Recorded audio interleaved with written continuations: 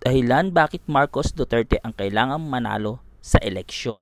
Hello mga kalodi, ito na naman si Lodimar sa isang reaction video na kung saan tatalakay natin ang dahilan o mga dahilan kung bakit si BBM at si Sara Duterte ang talagang pwedeng manalo sa eleksyon at karapat dapat bilang maging pangulo ng bansa at vice pangulo ng bansa. So alamin po natin ang mga dahilan para maliwanagan po ang mamamayang Pilipino sa manonood nito. Ito po, simulan na natin mga kalodi. Tila mga dambuhalang electric fan sa kalayuan ang mga wind turbines na ito sa Burgos, Ilocos Norte. Ito ang pinakabagong proyekto ng EDC o Energy Development Corporation Wind Farm sa 600 hektaryang lupain. 50 turbina na umiikot sa ihip ng hangin at pwedeng gumawa ng hanggang 150 megawatts ng kuryente. Kada tore, 3 megawatts ng kuryente ang kayang gawin. May taas na 75 meters o mga 25 palapag na gusali, konektado na ang mga wind turbine sa Luzon grid, kaya may naibabato ng supply ng kuryente. Basta may hangin, ito ay magde-generate ng power. Itong power na to is makakatulong. So ayan po, nakita niyo po ang unang bahagi kung saan sinasabi na ang Pangulo dapat ng Pilipinas ay merong mga proyekto na dapat gawin para malutasan ang lahat ng problema, lalong-lalo na sa kuryente. Na alam natin na sa bansang Pilipinas ay marami ang may kakulangan sa kuryente o ilaw. Kaya lagi nagba-brown out. So, makikita nyo na si BBM, nung siya'y governor pa lang, may nagawa na siya sa Ilocos kung saan nakapagpatayo siya ng windmills at solar pa- panel na kung saan natugunan nito ang kanyang lalawigan para mahibasan ang sobrang brownout sa kuryente. So yan po. Pero meron naman po dyan iba na may sinasabi at pakinggan din po natin. Magtatayo ka ng wind. Paano kung walang hangin? Kung solar, paano kung makulimlim? Lilinawin ko lang po. Naniniwala rin ako sa renewable energy at suportado natin ito. Pero dapat ding may baseload plan na sisigurong tuloy-tuloy ang daloy ng kuryente sa ating mga tahanan at industriya. Mag-iingay pa rin po kaya ang mga kumukontra kung busy na sila sa kakapaypay dahil nag-brownout na. Ayan po, si Noynoy Aquino, ang dating Pangulo, na kung saan tinuligsan niya ang windmill sa kanyang speech sa State of the Nation. Ang masakit, hindi po natin dapat tuligsain kung may kakayahan. At alam po natin, may dinamo po yun at baterya na kung saan po pwedeng umana at mapaandar sa tulong ng hangin at mga lugar na may kakayahang magbigay ng lakas ng hangin para gumana ang windmill. So sino po ang masira So yan po, nakita po natin ang katotohanan na dapat ang Pangulo may sariling pag-iisip at mga proyektong magagawa para matugunan ang pangangailangan ng bansa. Mapunta naman po tayo sa West Philippine Sea. Ano ba sinabi ni Manny Pacquiao sa ating Pangulo ngayon? Nakukulangan siya? Bakit? Ano ba dapat? Pakinggan po natin ang sinabi ni Manny Pacquiao kukulangan daw siya sa tugon ni Pangulong Duterte sa issue. Sa akin, uh, nakukulangan ako. Nakukulangan ako doon sa kumpara doon sa bago pa siya tumakbo. Uh, hmm. Nag-i-election pa lang. Hmm. Dapat patuloy niya yun para magkaroon din naman tayo ng respeto. Binalikan ni Pacquiao ang sinabi noong kampanya pa lang ng Pangulo na pag-jet ski sa lugar upang ipakita na sa Pilipinas ang karagatan doon. Yung, yung stand ng ating Pangulo siguro, um, kailangan din sa akin lang eh, o yung una niyang statement bago pa siya tumakbo na mag-kitskis siya, ipaglaban niya yung Philippine Sea. Mag-kitskis siya, magdadala siya ng flag mm-hmm. ng Pilipinas at itatayo niya doon yun ay napakalaking ano yung baga nagbigay ng uh, ng encouragement uh, sa ating mga kababayan. Lumakas ang loob natin. Ah, Kaya ako, sinasabi ko sa yung totoo, lumakas ang loob ko, talagang sabi ko, ito yung gusto ko, ganyan. Ah, tapos, pagdating ng panahon, bakil-bakil tayo, so, panindigan tayo doon sa kung ano yung Ayun. Kumbaga, sinabi lang ng ating mahal na Pangulong Duterte na kailangan mag-jet ski at magtayo ng bandera. Malaki na yung sinabi niya. Totoo ba? Huwag kang sumakay. Dahil hindi pa naman Pangulo si President Duterte noon. Kaya niya nasabi yun. Ang totoong dapat gawin ng bansa, Sir Manny Pacquiao, ay ito. Ito dapat ang malaman mo at ito po ang ginagawa ng ating mahal na Pangulo ngayon. Kung anong sasabihin ni BBM, pwede nyo pong pakinggan. Eh makik- na pang pakiramdam natin eh napakahirap ang ah, kailangan natin gawin. Ay hindi natin pwedeng tigilan dahil interest talaga ng bansa ito. At nawawalan tayo ng teritoryo. This is the first time since the war na nawalan tayo ng teritoryo. This- we have been uh, we have actually been acquiring territory since 1945 except in the period of the previous administration kung kailan tayo nawalan lang ng ng, ng teritoryo. Kaya eh, hindi hindi dapat pabayaan yan. At eh, ida- So, di- wala, tayong solusyon. Eh, pa- parang tao yan eh. Naki- makipagsuntukan kayo, eh, wala tayong, wala kayong ma- mare-resolve. Oo. Kailangan mag-usap kayo. Oo. Eh, di dapat mag-usap talaga yung China at ang Pilipinas. At sa nakikita ko, mukha namang open ang China sa mga paglapit ng uh, presidente sa kanila. Hindi lamang tungkol dito sa problema ng West Philippine Sea, kung hindi sa lahat ng iba't ibang bagay, tungkol sa mga development, tungkol sa mga infrastructure, lahat yan. Kaya sana, ipa- eh, eh, alam ko ipapagpatuloy yan at eh, sa palagay ko, bubunga din yan ng ano, ng bubunga din yan ng solusyon para at least meron tayong understanding. Unang-una, hindi na magpupuntukan. Pangalawa, hindi na lalawak yung kanilang mga itinatayo doon. At baka sakali, baka ipagamit pa sa atin kung uh, tayo ay makapag mag, magkaintindihan. Eh, eh, tignan natin. But these are the things that we should be working towards. Huwag natin titigilan yan. And alam ko naman that China will continue to talk to us basta tayo ay handa na makipag-usap. Yan. So tama itong tinatahak na Duterte administration na kausapin na lang itong China rather na mag-file na mag-file ng mga diplomat na mga protest sa, sa United Nations. Kasi halimbawa, yung pag-file sa atin, nung kaso natin sa United Nations, hindi pa napapag-usapan, sinabi na ng China, hindi na hindi naman kami signatory dyan eh. Walang kabuluhan sa amin yan. Kahit na ano maging desisyon dyan, eh tutuloy pa namin yung gusto namin. Pero yun nga eh, kaya hindi ko nga ma- ma- maintindihan kasi sinasabi nga nila, eh, sabi ng China, mag-usap tayo. Eh, ayaw, tayo, ayaw natin sila kausapin noon eh. Hindi ba? Basta't puro, puro maiinit na salita ang binibitiwan ng gobyerno noon.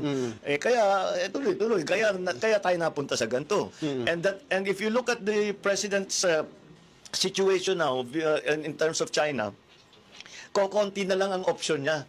Kasi nga, we have painted ourselves into that corner na kalaban natin ang China. So tayo ang nag, tayo. tayo ang nag-initiate niyan kaya nagalit ang China. Well, kung yung, yung titignan nakarang administrasyon kung titignan ninyo yung kasaysayan, eh syempre, palagay ko, yung China talagang may interest din. Hmm. Pero hindi lang naman tayo uh, nakikipag ano, sa ano, may Vietnam, pati Brunei, pati Malaysia, lahat. Hmm. Eh, lahat naman yan, eh, nakita mo yung nga sa Paracel. Hmm. Nag, yun talaga, nagbarilan sila ng Malaysia. Eh, hindi naman natin gustong umabot sa ganun. Hmm. There are three methods for uh, to decide these issues, Hmm. ng ganyang klaseng mga issue. One is by one is to take it to the to the to the UN Aha. which is what we did. Oo. Pangalawa is to go to war. Oo. And pangatlo is by bilateral agreement. Yun. So, bakit tayo pupunta? Well, ayaw naman natin makipaggera. Ginawa na natin yung ICC, hindi naman talaga naging ah, effective. Oo. Eh, anong natira sa atin? We have Bilateral. no options left. Bilateral. Eh, Kailangan mag-bilateral tayo. Pero Kailangan sinasabi ni ng uh, ng iba nila associate justice mag-file na mag-file ang dami nang ipa-file ng mga reklamo. Pwede mag-file to make your position clear. Oo. But in sa sa, sa habang kung gagawin natin yan to make our legal position clear, di okay. But kailangan pa rin natin silang kausapin para sabihin natin, eh kung baga, eh kung tayo may, may inabla kita, pwede naman yung sinasabi magkakaroon tayo ng ah, magkakaroon tayo ng ah, agreement, ng compromise, di ba? Eh yun siguro din ang dapat natin gawin sa China. Pero may katanungan po sila, sir. Reaction daw po ninyo dito sa sinabi ni ah, Senador ah, Gordon sa mga kasamahan niya mga politiko.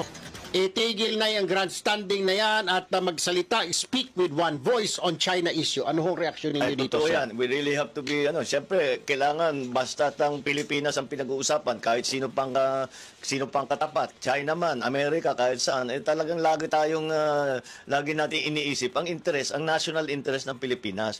Naalala ko nung ma- masyado tayong ah, lumalaban at ah, sa China noon, nung nakarang administrasyon, hindi man natin kinakausap, at uh, sinasabi, uh, kanino, kam, anong panig kayo? Kayo ba ay pumapanig sa Amerikano? Kayo ba ay pumapanig sa, sa China?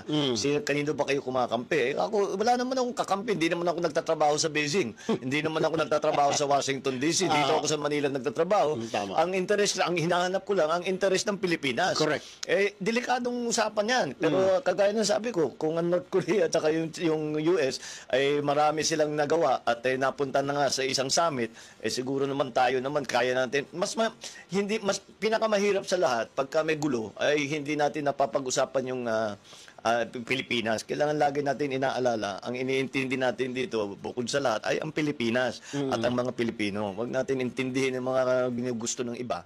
Pilipinas lang talaga.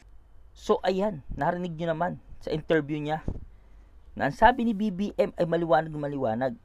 Madadaan na lang natin to sa bilateral agreement.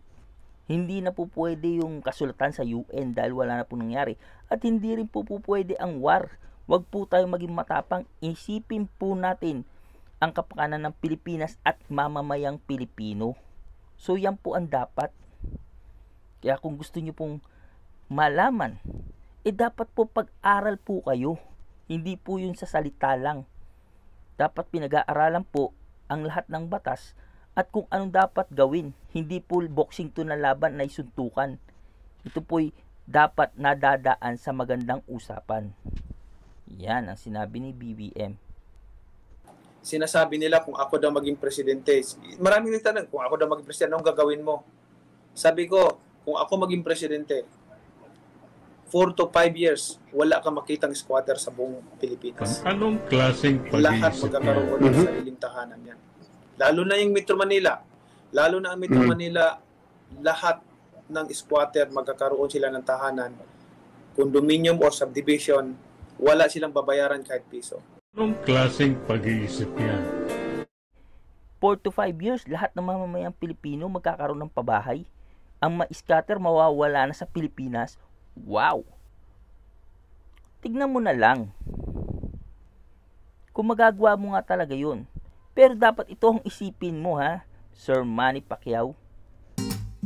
Ang NHA, National Housing Authority, sila naman ay nandyan handa magtayo ng mga bagong bahay, titirahan. Ang LGU naman ang maghahanap at magbibigay ng lupa kung saan sila lilipatan. Ang problema sa paglipat ay hindi maliit na bagay. Kaya naman tayo, meron tayo ngayon Department of uh, Human Settlements dahil hindi lamang bahay ang kailangan itayo. Para maging community yan, para hindi na bumalik ang tao dun sa danger area, kailangan dun sa lugar kung saan sila ilalagay, kumpleto yung supply ng tubig, kumpleto yung supply ng kuryente, kailangan may eskwelahan para dun sa mga bata, kailangan may simbahan, kailangan may palengke, yung mga magulang kailangan may pinagkikitaan, meron silang hanap buhay. Kung hindi natin mabuo yung ganyang tinatawag na community, ay babalik at babalik sila. Ito ay mga bagay na talagang dapat pinagtutuunan ng pansin. Ang trabaho ay hindi nagtatapos sa ayuda, kundi hanggang sa tuluyang pagbangon ng komunidad. Ayan. Ang sabi ni Sir BBM, dapat isipin mo, meron tayong housing, NHA, authority. Meron din tayong LGU na kung saan naghahanap ng lupa.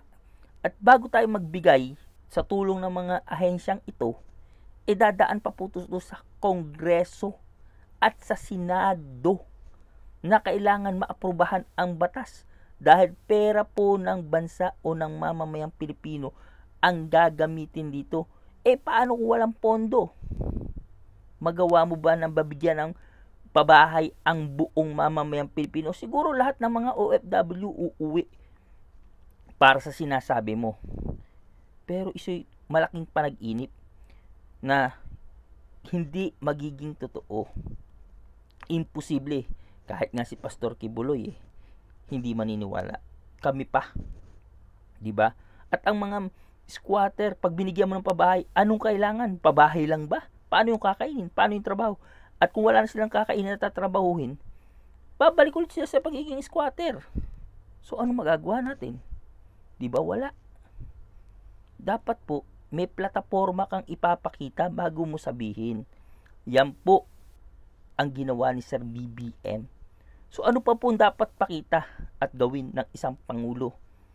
Kung kayo sasang-ayon sa akin, malalaman nyo. At si Sara Duterte, kung magiging busy siya ni BBM, alam ko, kagaya siya ng tatay niya. Marami siya matutulungan. Dahil kung paano niya minahal ang mamamayan ng Davao, eh makikita nyo rin po kung paano siya magmamalasakit bilang busy ng Pilipinas dahil sa kanyang mga pinakita at tatag bilang isang Duterte, bilang isang Sara, at bilang mayora ng kanyang bayan. So yan po ang mga katangian na dapat natin makita sa isang Pangulo at busy Pangulo. At kung kayo sasang-ayon sa akin, uh, i-like at subscribe nyo lang din po ang aking channel. Maraming maraming salamat po. Ito po si Marty B. Buwalan.